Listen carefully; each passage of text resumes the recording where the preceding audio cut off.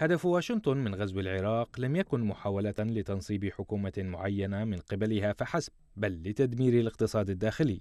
هذا ما أكده بامو نوري البروفيسور في جامعة لندن وعضو أكاديمية التعليم العالي الملكية. وبحسب البروفيسور البريطاني فإن استهداف الولايات المتحدة للمؤسسات الخدمية والأساسية للحياة في العراق ب 350 قنبلة يوميا خلال الغزو عام 2003 كان جزءا من ذلك المخطط حيث حاولت واشنطن تدمير أكبر قدر ممكن من البنى التحتية الرئيسية لتوفير فرص لشركاتها بالمشاركة في إعادة الإعمار بعد الحرب التي أزهقت أرواح مئات الآلاف بأرباح خيالية. ومن أجل فسح المجال أمام شركاتها أيضا يقول بامو نوري إن الولايات المتحدة سعت لوضع شخصيات معينة لقيادة العراق الجديد بدلا من الانتخاب الفعلي حيث كان ذلك مجرد جزء من هدف آخر.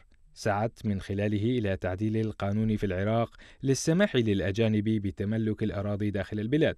تقارير تؤكد ما هو مؤكد لا سيما مع اعترافات حكومية أبرزها جاء على لسان وزير الصناعة السابق محمد الدراجي الذي أكد وجود جهات معينة تدفع الأموال من أجل إيقاف المشاريع في العراق.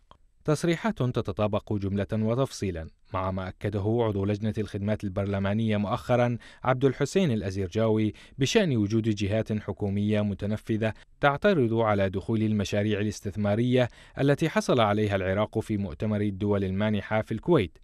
بل تطلب من الشركات المستثمرة مبالغ مالية ضخمة مقابل إقامتها مشاريع داخل البلاد.